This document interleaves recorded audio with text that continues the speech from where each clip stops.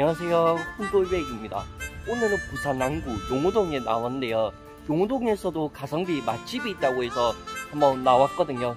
저랑 같이 한번 가보시죠. 고고!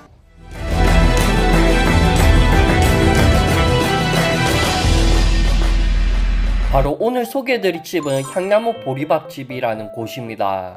네, 오시는 방법은 여기 용호 3동 주민센터에서 바로 앞에 딱 보이거든요 실내 대부는 가정집에 개조된 느낌이 들었고 깔끔한 나무 테이블과 의자가 배치되어 있었습니다. 벽에는 정갈하게 걸린 장식품들이 아늑한 분위기를 자아내고 있었습니다. 자 메뉴판입니다. 여기는 단일 메뉴 오로지 보리밥만 판매하고 있더라고요. 주문을 하면 먼저 숭늉이 나오고 먹기 전에 목을 축이기에는 좋았습니다. 그리고 부드러운 보리밥이 채워져 있었는데요. 보리밥의 향이 깊게 스며들어 정말 향긋하고 맛있었습니다. 제가 주문한 보리밥 이 나왔습니다.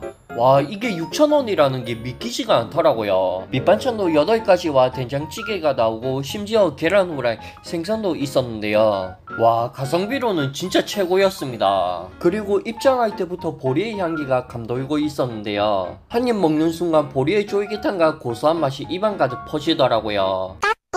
보리밥이라서 그런지 좀 더 고소하고 은은한 맛이 있었는데요. 이게 색다른 느낌을 선사해 주었습니다. 여기는 사장님이 손이 빠르기도 빠르지만 된장찌개가 그냥 미쳤습니다. 일반적인 시중에 파는 된장찌개랑 완전히 달랐고 한 입 먹는 순간 극락 체험도 가능했습니다. 와 지기네요. 이제 비빔밥을 만들어서 먹어봐야겠네요.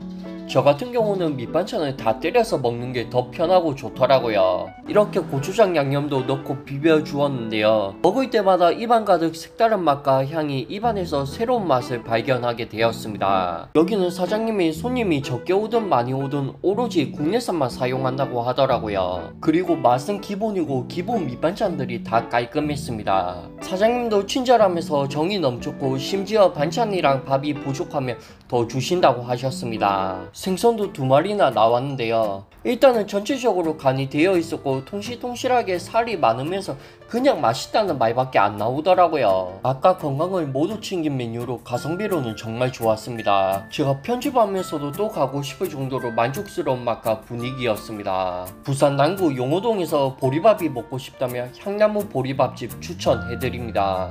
다만 고려사항이 있다면 시골에 가보면 벌레 잡는 끈끈이 같은 게 있잖아요. 그런 게 천장에 있더라고요. 약간은 그런 게 있어가지고 호불호는 있을 것 같아요. 오늘도 끝까지 시청해주신 모든 분들 감사드리고 다음 영상에서 뵐게요. 안녕.